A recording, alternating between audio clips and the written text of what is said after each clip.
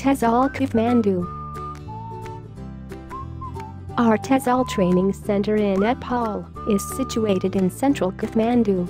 The facility is complete with classrooms and all the facilities that you will need during your TESOL course, with hot and cold water on hand for drinks. There's a little tea shop downstairs that makes simple local meals, plus a wide range of local shops and restaurants nearby.